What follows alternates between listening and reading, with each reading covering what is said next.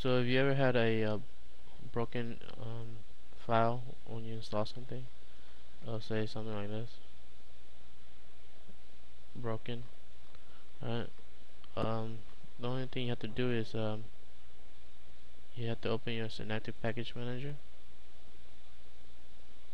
and you'll see it says uh, one broken package um, package in your system right let's click OK uh, and what you want to do here um, is um, click on broken. See? And that's all you gotta do is just uncheck this.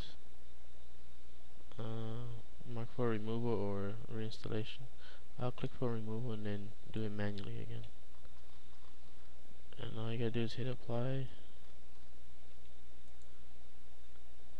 And that's it.